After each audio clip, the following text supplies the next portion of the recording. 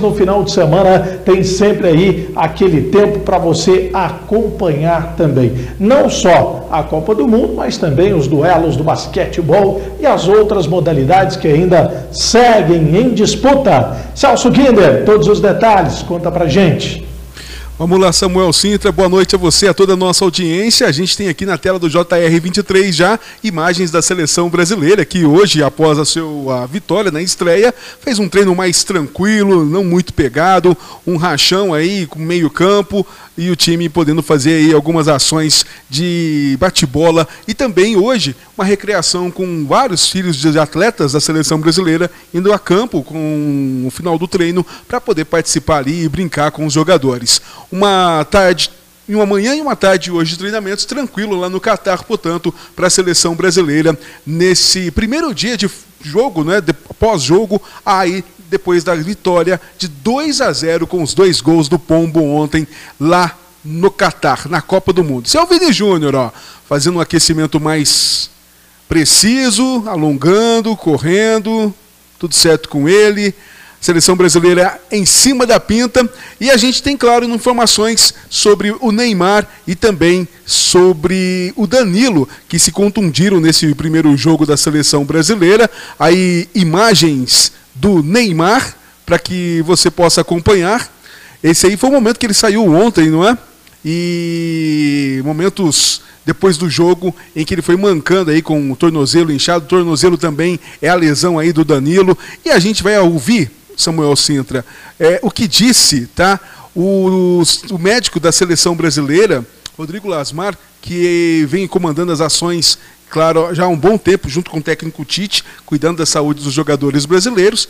E a gente vai poder ouvi-lo aqui falando no JR23 sobre as lesões né, de ambos os jogadores, tanto do Danilo quanto também do Neymar, que vão desfalcar aí a seleção brasileira para os próximos, próximos jogos. Já está confirmado aí que eles não vão jogar, portanto, não jogam contra o time da Suíça na segunda-feira e depois no dia 2 contra o time de Camarões. Mas vamos ouvir o médico da seleção brasileira que ele tem informações aqui para passar para a gente. Os jogadores continuam em tratamento.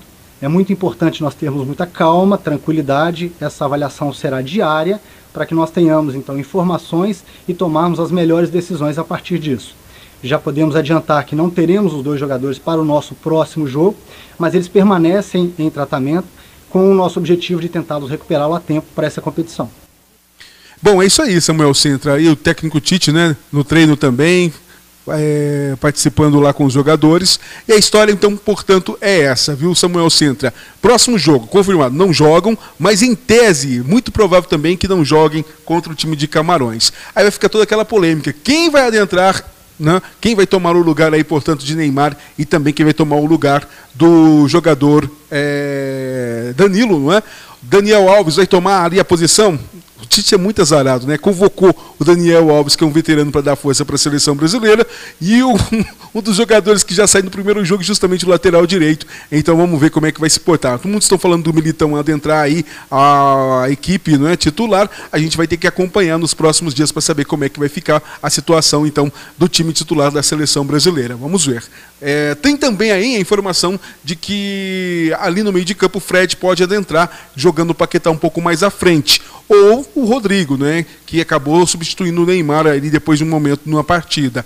Bom, a minha opinião é que o Rodrigo deveria ser o camisa 10 da seleção, até porque o Lancelotti já está preparando ele lá no Real Madrid, né, para ser uma, um camisa 10 realmente, e ele entrou muitíssimo bem nesse primeiro jogo, eu acho que ele fez a diferença, e eu acho que a aposta do Tite deveria ser essa, meter o Rodrigo lá, porque ele vai meter muita bola no ataque do, do, da seleção brasileira. Eu ia falar do Corinthians aqui. que sonho, hein? Ter o Rodriguinho da equipe do Corinthians, hein? Você tá doido? Que maravilha. Bem, ontem o Tite, bem mais tarde, participou da entrevista coletiva da seleção brasileira, não é mesmo? E é claro, a gente separou aqui o trechos em que o Tite avaliou a vitória da seleção, falou também sobre o espírito uh, de que não é ele o responsável, ele não conseguiu a vitória, né? Que o Tite é um elemento da seleção brasileira. Muito bacana as palavras do Tite, como sempre, muito comedido, muito sábio nas suas palavras. E é claro que a gente vai ouvi-lo aqui no JR23. Fala aí, professor. No contexto geral, a vitória convincente, sim, mas com diferentes jogos dentro do próprio jogo. O ritmo quando se joga na, no mundo árabe, nós, nós conhecemos, eu e o Kleber conhecemos isso. E nós vivenciamos aqui.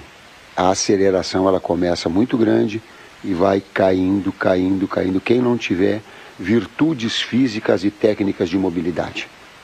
Então, primeiro, expectativa do jogo, às vezes a bola fugia um pouquinho demais, o domínio no primeiro tempo estava um pouquinho acelerado, não era o nosso padrão normal. Segundo tempo, reposicionamento melhora a técnica. Reposicionamento fundamentalmente de Paquetá, na saída de 2-3, de ter mais um jogador no bolsão. As jogadas começaram a fluir mais naturalmente, inclusive com os jogadores que vinham de trás. Pergunta tática, resposta tática. Hum.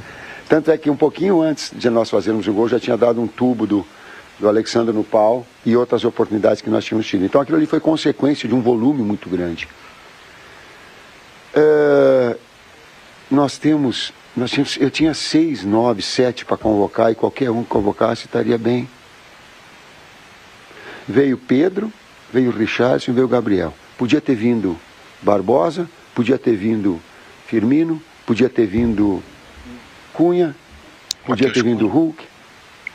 Cara, nós temos um, um, um, manancial e aí tem que escolher essa situação, mas fica aqui inclusive o registro de outros atletas que poderiam estar mas pelas virtudes características, quando queria um pivô, daqui a pouco se uma equipe joga baixa, é Pedro, terminal, da última bola, terminal é a última bola da finalização, é um de movimentação e pressão, ela é Gabriel, ela é de finalizador, o, o, o, o Richardson é exímio finalizador, então que ele faz o domínio, a bola sobe, ele reprograma o movimento e faz um chicote, que ele é da função específica, então fica com virtudes e ainda ficou gente fora boa.